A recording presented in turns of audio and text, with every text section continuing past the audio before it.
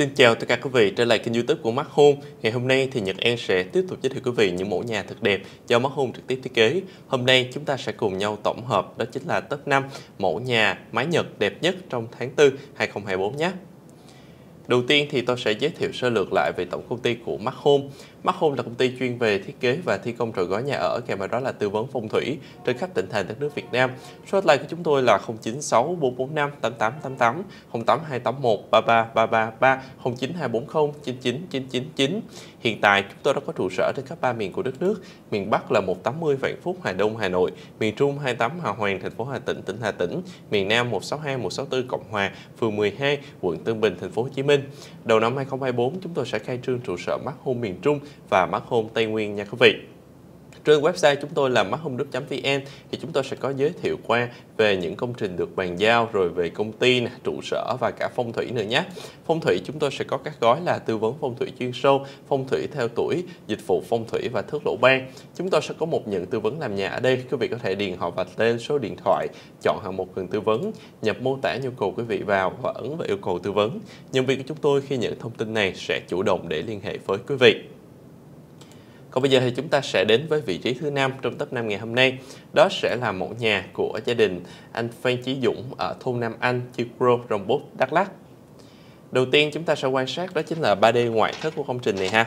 Có thể thấy thì đây sẽ là một công trình nhà vườn mái Nhật với thiết kế hiện đại nha quý vị. Một kiểu nhà mà cũng đang được khá nhiều gia chủ ưa chuộng nhìn từ bên ngoài thì ta có thể thấy là phong cách của công trình này thì nó sẽ thiết kế khá là tinh giản ha. À, những cái đường nét gọn gàng khỏe khoắn màu sắc thì sẽ thiên về những cái tông màu ví dụ là màu xanh ghi nè màu trắng và màu ghi à, sẽ được sử dụng rất là nhiều. Phần cửa chính thì ở đây chúng tôi sẽ sử dụng đó chính là cửa thép phân gỗ nha quý vị. Còn lại thì sẽ là cửa nhôm hệ kính về cửa thép phân gỗ như tôi chia sẻ rất là nhiều lần, nó là một cái giải pháp để mà thay thế cho những cái dòng, dòng cửa gỗ tự nhiên trước đây. Khi mà chúng ta sử dụng cửa gỗ tự nhiên thì nó có thể là điêu khắc chạm trổ được rất là nhiều hoa văn đẹp. Tuy nhiên thì về giá tiền thì chắc chắn là cửa gỗ tự nhiên nó sẽ rất là đắt đỏ nha quý vị. Còn với cửa thép phân gỗ nó sẽ rẻ hơn. Tuy là nó không thể điêu khắc quá là cầu kỳ giống như cửa gỗ tự nhiên, nhưng mà ví dụ ở những cái đường vân thớ đi thì nhìn nó cũng rất là thật và rất là đẹp ưu điểm của cửa thép vân gỗ bên cạnh về giá tiền thì cái việc mà chúng ta đóng mở cũng rất là dễ dàng, bởi cửa thép vân gỗ nó nhẹ hơn, khá là nhiều so với cửa gỗ tự nhiên. Cho nên là nếu mà nhà có trẻ em hoặc người lớn tuổi sử dụng cửa thép vân gỗ thì cũng rất là hợp lý. Với công trình này thì quý vị có thể quan sát sẽ thấy nè đó chính là phần sảnh công trình chúng tôi sẽ thiết kế năm bậc tượng trưng cho ngũ hành kim thủy mộc hỏa thổ ha rồi à, ví dụ là bên dưới những cái vị trí trụ cột này thì chúng tôi sẽ ốp gạch việt nhật à, và còn lại thì hệ thống cửa sẽ là cửa nhôm hệ kính nha quý vị để có thể lấy sinh khí vào bên trong một cách tối đa Bây giờ thì em sẽ mời quý vị chúng ta xem qua đó chính là mặt bằng công năng của ngôi nhà ha. Ở đây ta sẽ thấy được chiều dài và chiều rộng nè. Chiều dài ngôi nhà là 15,8 m, chiều rộng sẽ là 9,2 m, tổng diện tích thiết kế công trình là 130 m vuông. Về công năng chúng tôi bố trí sẽ có phòng khách nè, phòng thờ, phòng bếp ăn, tổng cộng là 3 phòng ngủ nha quý vị, một vị trí nhà vệ sinh và một không gian phòng tắm ở đây. Công trình sẽ có 3 lối tiếp cận, lối từ cửa chính đi vào phòng khách nè, rồi à, phòng bếp ăn mở ra sảnh phụ ở đây và một lối cửa hậu ở phía sau nhé. Ba lối này sẽ giúp luân chuyển vượng khí cho công trình. Còn bây giờ thì chúng ta sẽ đến với vị trí thứ tư trong top 5 ngày hôm nay. Đó sẽ là mẫu nhà của gia đình chú Lê Văn Dương ở Trương Trắc, Văn Lâm, Hưng Yên. Mẫu nhà này thì nó khác hơn với công trình lúc nãy đó chính là công trình này thì sẽ là công trình 2 tầng nha quý vị. Mái Nhật à, thì đây có lẽ là cũng là mẫu nhà quen thuộc rồi bởi vì à, nó cũng đang rất là được ưa chuộng và tôi hay gọi vui nó là mẫu nhà à, quốc dân à, của mắt hôn đúng không nào mẫu nhà best seller tức là đến bây giờ thì à, khắp cả ba miền Bắc Trung Nam khi mà có những gia chủ liên hệ thì cũng sẽ à, chủ động để mà liên hệ và thiết kế thi công cái mẫu nhà này rất là nhiều nha quý vị. Về màu sắc thì công trình này thì cũng sẽ phối đơn giản theo tông trung tính là màu trắng và màu ghi sẽ được thiết kế xen kẽ với nhau. Điểm nhấn công trình có thể kể đến đó chính là chi tiết giàn hoa ở đây à, cái phần dàn hoa này đó quý vị thì nó cũng tạo nên cái nét độc đáo hơn. Dàn hoa thì chúng ta có thể làm thứ nhất là bằng bê tông. Quý vị có thể làm bằng bê tông sau đó chúng ta sẽ sơn màu trắng. Hoặc thứ hai quý vị có thể làm từ thép hộp nha quý vị. À, thép hộp thì nhìn nó nhẹ nhàng hơn còn bê tông thì nó sẽ có sự cứng chắc hơn thì tùy theo sở thích của quý vị thôi. Phía bên trên ta có thể đặt thêm một cái lớp máy kính có thể làm kính cường lực hoặc là kính nhựa để giúp che nắng che mưa. Với công trình này thì mảng xanh cũng được thiết kế khá nhiều, ví dụ ở bên dưới nè, quý vị thấy tầng 1 cũng có mảng xanh ở đây, rồi à, vị trí của tầng 2 cũng vậy ha, ở ngay vị trí của phần à, bồn hoa ở vị trí này. Còn phần sảnh thì chúng tôi sẽ không thiết kế 5 bậc giống lúc nãy, mà ở đây thì chỉ có 3 bậc thôi nhé.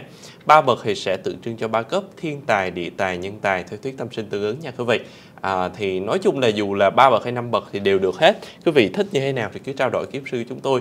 Mỗi loại nó đều có những cái ưu nhược điểm riêng.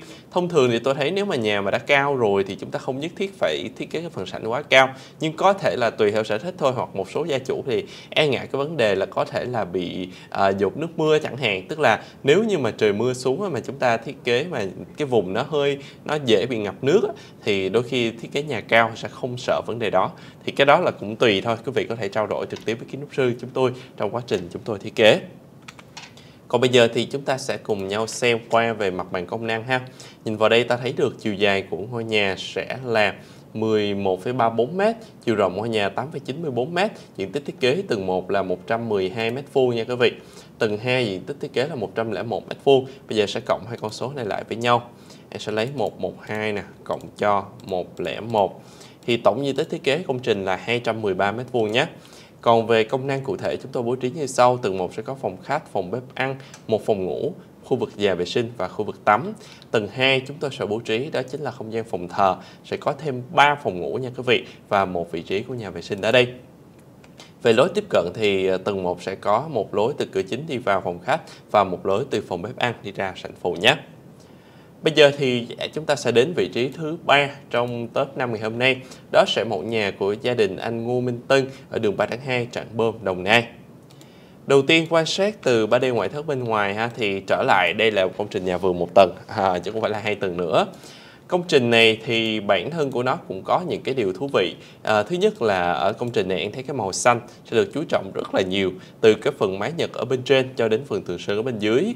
Phần mái thì ở đây đa phần những công trình do mắt hộp tới thiết kế thì bây giờ ha à, chúng tôi thường sẽ thiết kế đó chính là à, sử dụng là ngói frame kết hợp việc kèo kim siêu nhẹ đơn giá là 680.000 đồng cho một mét vuông À, ngói Bram hay ngói Fuji thì đều sẽ thuộc dạng đó chính là ngói màu xi măng nha quý vị. À, nó sẽ có những cái bước cải tiến hơn so với những cái ngói đất nung trước đây. Thường lúc trước thì người ta chỉ biết đến ngói đất nung, ngói ví dụ ngói đỏ Hạ Long chẳng hạn, những cái dòng ngói truyền thống.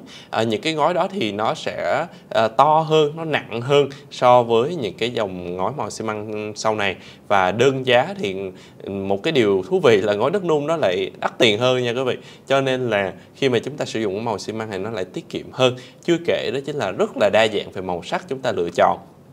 Ví dụ bây giờ thì cái màu xanh đang rất là được ưa chuộng, nhưng mà ví dụ lúc trước đi, thì người ta gần như cứ nghĩ đến cái phần mái ngói là phải là màu đỏ, đúng không nè? Nhưng bây giờ thì màu xanh nè, màu ghi, màu nâu cà phê đang rất được chuộng, cho nên là quý vị có thể tham khảo qua ở đây chi tiết ở bên trên chúng tôi sẽ có một số chi tiết ví dụ ở đây à, sẽ có những cái ô cửa sổ bé bé ở trên mái để làm điểm nhấn Hệ thống cửa công trình thì 100% sẽ là cửa nhôm hệ kính nha quý vị. Ví dụ đây là cửa chính cũng là nhôm hệ kính bốn cánh nè, nhưng mà có những cái chi tiết à, nang hoa đồng ở bên trong để mà trang trí nhìn cũng khá là bắt mắt. Nói chung là không gian cửa chính thì thường sẽ là cái cửa lớn nhất của ngôi nhà và cũng được trang trí đẹp nhất. Sảnh ở đây sẽ thiết kế là 5 bậc nha quý vị. À, và chúng tôi sẽ ốp là granite gọi là hoa cương có tông màu ghi vân màu à, vân mây nè mặt thì sẽ là màu trắng. Đây cũng là lựa chọn thú vị. Thường ở đây thì quý vị một là có thể chọn màu ghi hay là thấy là tông màu đen à, sẽ được rất là nhiều gia chủ ưa chuộng. Còn bây giờ thì chúng ta sẽ xem đến mặt bằng của ngôi nhà ha. Nhìn vào đây ta thấy được chiều dài của ngôi nhà sẽ là 15,55 m, chiều rộng là 12,3 m. Về công năng chúng tôi bố trí như sau, sẽ có phòng khách, phòng thờ, phòng bếp ăn, tổng cộng là 3 phòng ngủ nha quý vị, 3 vị trí nhà vệ sinh và một khu vực tắm ở vị trí này. Lối tiếp cận thì công trình sẽ có 3 lối ha. Cửa chính vào phòng khách nè, phòng bếp ăn đi ra sảnh phụ và một lối cửa hậu ở phía sau. Về thiết kế phong thủy là cực kỳ hợp lý, đó chính là cửa chính và cửa hậu nằm lệch một bên không nằm trên một đường thẳng, cho nên không phạm vào quan thông môn xuyên đường sát, cực kỳ hợp lý.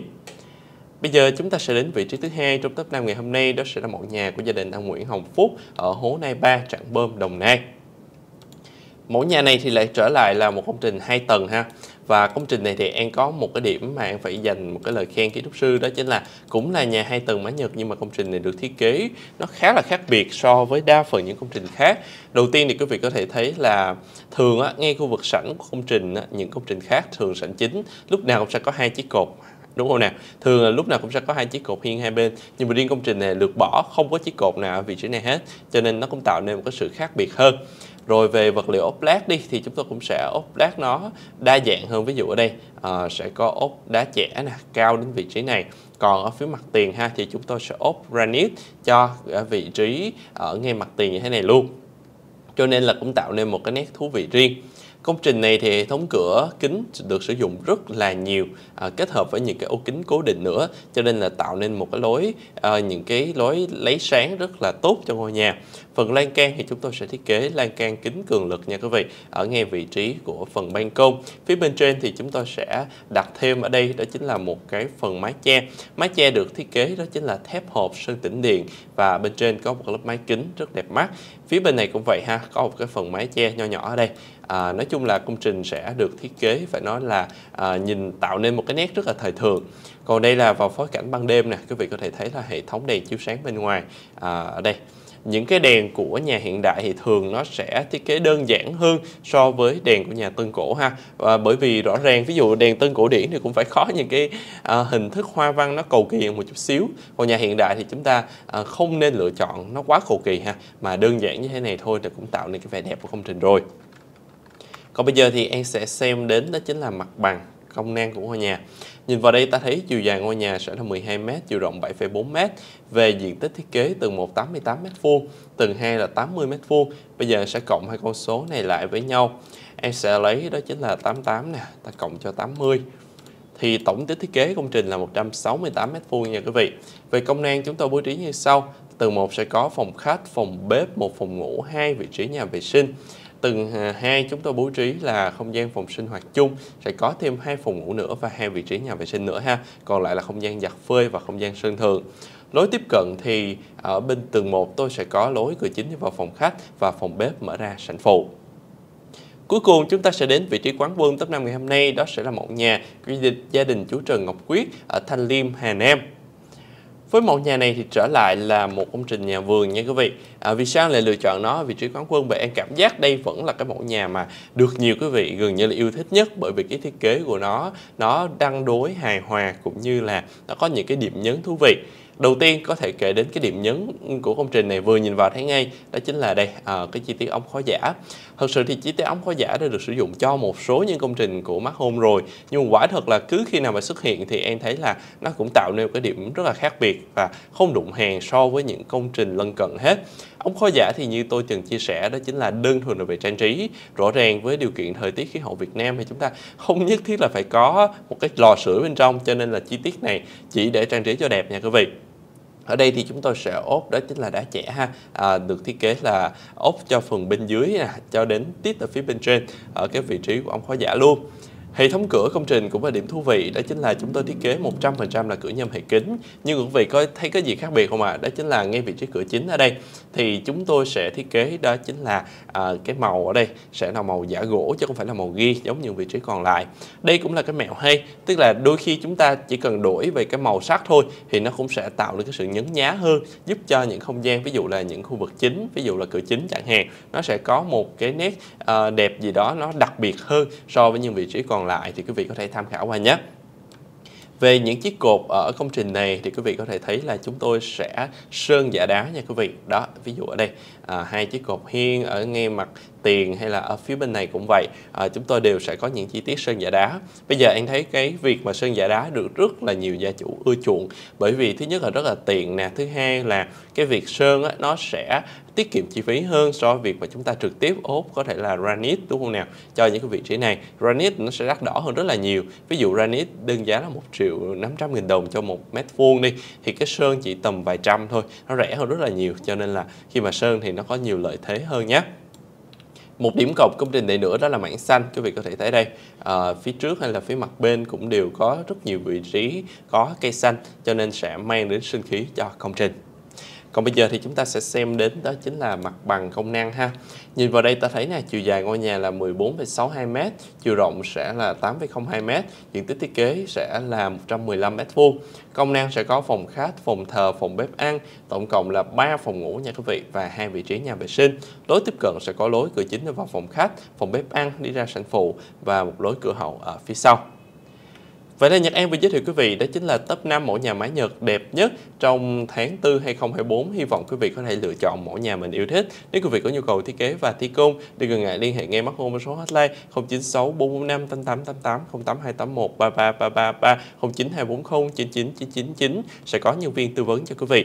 Đừng quên nhấn like, subscribe, chuẩn nút thông báo để không bỏ lỡ video mới nhất của chúng tôi. Còn bây giờ Nhật An xin chào tạm biệt. Hẹn gặp lại quý vị trong những video tiếp theo.